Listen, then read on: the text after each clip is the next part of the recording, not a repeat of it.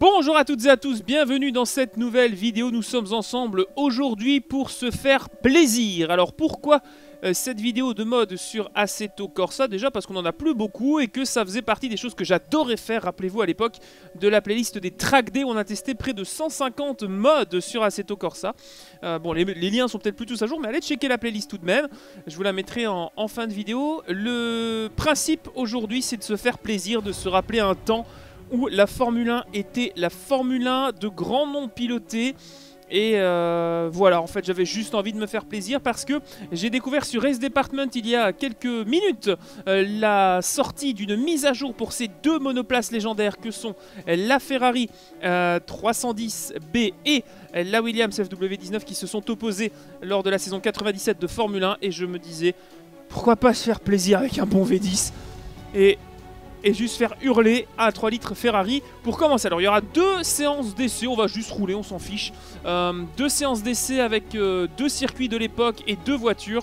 Et euh, voilà, le principe ce sera de surtout profiter. Allez, trêve de plaisanterie, on va piloter, on va discuter un petit peu. Mais surtout, voilà, je voulais vous montrer ces deux voitures qui ont été deux modes que j'avais beaucoup appréciés à l'époque. Qu'est-ce que tu veux faire face à un V10 pareil C'est juste démentiel. Alors évidemment,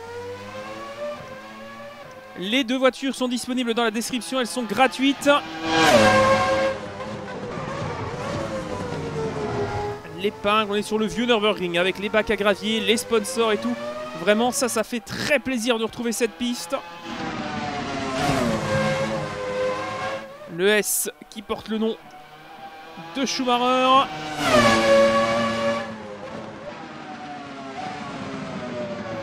Essayer de ne pas se mettre dedans. On redécouvre un peu cette voiture. Hein. Je ne l'ai vraiment pas testé avant. Oh, c'est génial.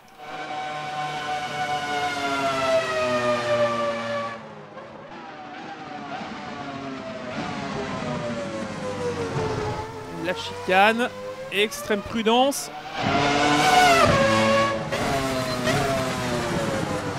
Voilà, le, le bond de 20 ans en arrière fait très très très très plaisir. Allez, c'est parti. On a fait un tour euh, pour se remettre un petit peu dans le bain, retrouver ses réflexes. La voiture qui bloque ses roues. Vraiment une voiture à l'ancienne, brutale, violente, énormément de couple. Grosse puissance. Beaucoup, beaucoup, beaucoup de couple avec ce V10 euh, de près d'eux. Alors de mémoire, ça devait être 750 chevaux, je dirais ça. Et le poids des voitures, on doit être euh, pas loin des 500-600 kg. Hein. C'était la norme à l'époque, à peu près, euh, je crois 550 avec le pilote. À vérifier. J'aurais dû aller voir la fiche technique de la voiture.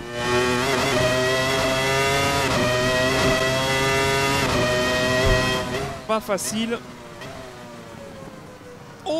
Un petit peu large. Voilà, c'est l'occasion de vous montrer aussi que les salissures sont faites sur les pneus. Allez, on va nettoyer tout ça. Voilà.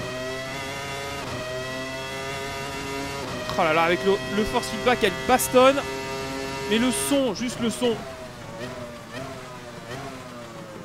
Le son de la voiture est gigantesque. Ça nous rappelle à quel point quand on était gosse, en tout cas pour ma génération et la vôtre, c'était vraiment ça la Formule 1, ça faisait rêver c'est pas ce que c'est aujourd'hui. On pouvait se donner des coups de roue en piste. On pouvait se tuer. C'est triste à dire, mais c'est comme ça. Aujourd'hui, sauf cas exceptionnel malheureusement, le risque, et tant mieux d'ailleurs, a été euh, grandement réduit. Le côté euh, gladiateur encore présent à cette époque, la recherche de la limite, sans prise de tête, sans sans bien-pensance, sans écologie, tout ce qu'on développait pour le carburant, l'aéro se retrouvait. On disait souvent cette phrase toute faite dans la voiture de monsieur et madame tout le monde, mais c'est pas faux. Franchement, c'est le genre de mode qui font qu'on aime ce qu'on fait. Franchement, le sim racing, ou en tout cas la simulation, c'est pour ce genre de voiture, ce genre de son, avoir l'expérience de vivre une possibilité d'être Schumacher, Senna ou d'autres pendant quelques instants, c'est vraiment, vraiment ça qui fait qu'on aime ce qu'on fait. Et c'est ce qui nous réunit, je pense. En tout cas, c'est moi ce que je recherche depuis 5 ans presque avec vous sur YouTube et depuis euh, ouf, 15 ans en off. Voilà, allez, je vous propose un dernier tour avec cette Ferrari. Après, on va passer à la Williams, mais franchement, ça donne juste envie de pas s'arrêter, d'enchaîner les tours. Petit blocage de roue dans le S-Castrol. J'adorais cette section à l'époque. C'est ici qu'on avait eu droit à des, grands moments, notamment le tonneau de la Sauber de Pedro Diniz en 99. Victoire d'une euh, Stewart également. Rappelez-vous, c'était incroyable. Les faux départs aussi. 99, bref. Jusqu'en 2001, le circuit était comme ça. Ensuite, on a découvert la, version moderne avec les dégagements en tarmac, la nouvelle épingle, qui est devenu un point, euh, important du circuit. C'est difficile de retracer un, morceau de piste aussi euh, important et ancré dans la mémoire collective en le rendant euh, tout aussi iconique plus de 15 ans plus tard. Oh, c'est vraiment génialissime. C'est vraiment un plaisir coupable, cette vidéo. Sérieusement. Ah là là, quel pied, quel pied cette bagnole. Franchement.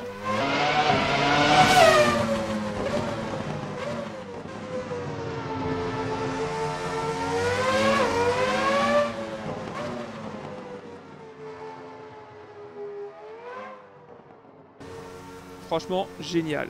Génial. Bon écoutez, on va euh, garer la bête au bout de la ligne des stands. Et on se donne rendez-vous tout de suite. On enchaîne avec la Williams. Il n'y a rien à faire pour moi, ce moteur V10 Renault est l'emblème des années 90 en Formule 1. Je ne sais pas pourquoi j'ai toujours préféré ce son, euh, vraiment très atypique. Alors, pour le petit détail, vous regarderez l'aileron avant à droite notamment, et vous le voyez quand j'accélère, il vibre. Voilà, ça c'est les petits détails que j'aime bien dans, dans Assetto. Allez, on va, on va quitter la pit lane.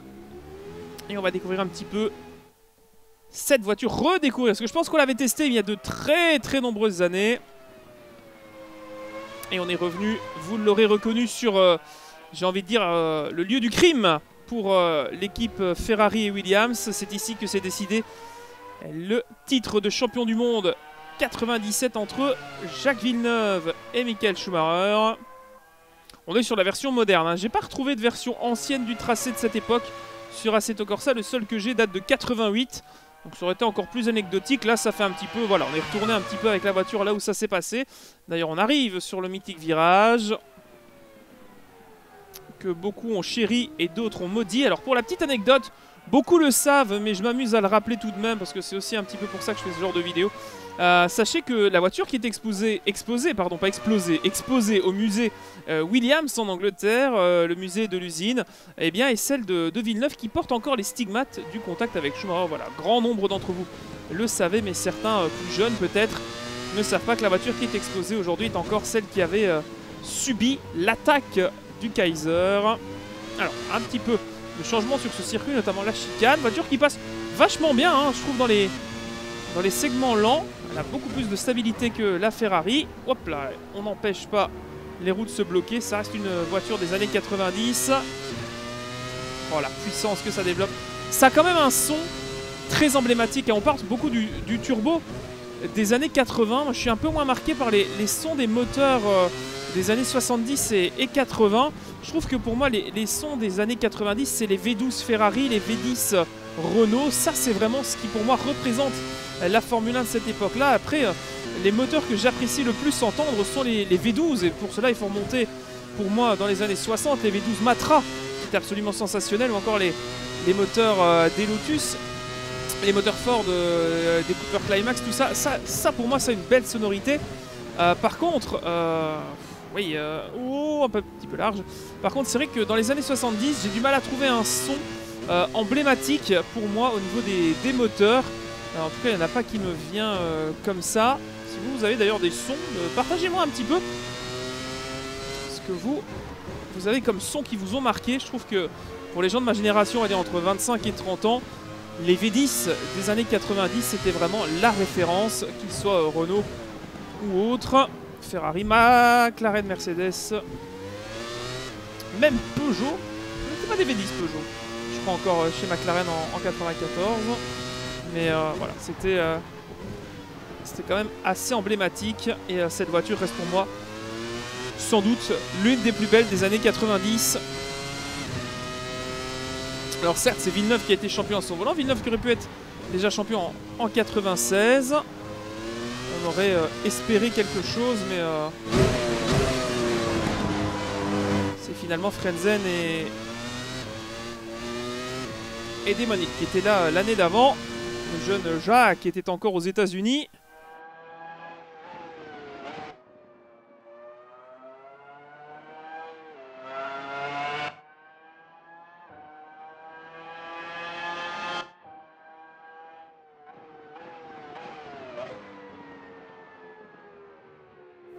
Franchement, est-ce qu'il y a autre chose à faire que de vous laisser écouter ce V10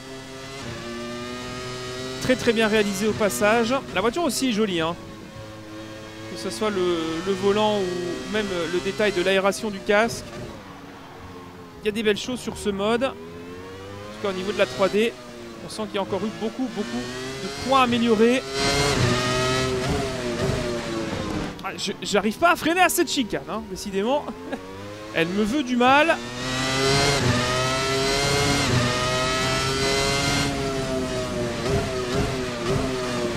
Franchement, il y a des modes comme ça qui vous marquent euh, terriblement. Euh. J'ai beaucoup, beaucoup apprécié ces deux voitures euh, à l'époque. Je voulais y revenir pour voir un peu l'évolution globalement pour vous donner un avis également sur le mode, puisqu'après tout c'est une chaîne de jeux vidéo. on se retrouve face à deux voitures assez différentes dans leur comportement. Je disais une Williams plus souple, plus anglaise, plus fine, plus délicate et une Ferrari bien, euh, bien italienne, pur sang. Et euh, voilà, la différence se fait. Donc allez tester ces deux voitures dans la description. Vous y retrouverez également les deux circuits. Et voilà, voilà, c'était une petite vidéo plaisir du week-end. Ce qu'on oublie parfois trop souvent, de se faire plaisir et de partager juste ce qu'on aime et ce qu'on kiffe, c'est-à-dire piloter ce genre de voiture. Moi, j'ai beaucoup, beaucoup pu tourner avec ce genre de voiture avant. Une autre voiture qui est particulièrement réussie en mode, c'est la MP4 13, hein. euh, qui était aussi très sympa. La McLaren de 98.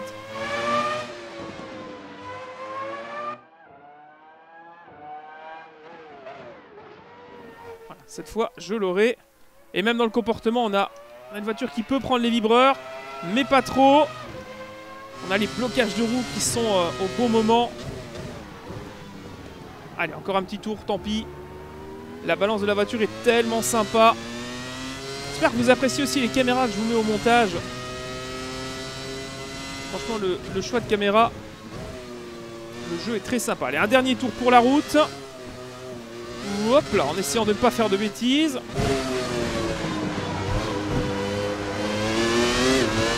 C'est vraiment le genre de vidéo que j'aimerais tourner beaucoup plus souvent, des petits euh, plaisirs comme ceux-là. Franchement, c'est génial. Quoi.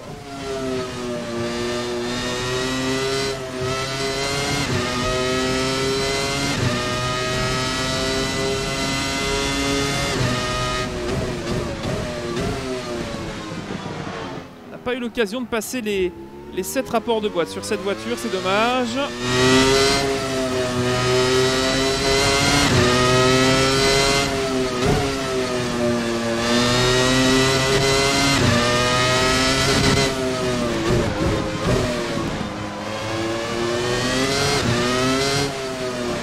Elle se laisse vraiment, vraiment piloter. Et j'adore ça. C'est vraiment génial. Donc voilà, petit retour dans les souvenirs. Oh, bah dis donc ben voilà, on a failli faire une coultarde. Hop, voilà. on a failli faire une coultarde à Adélaïde. Bon, c'est pas trop grave. En tout cas, merci à toutes et à tous d'avoir suivi.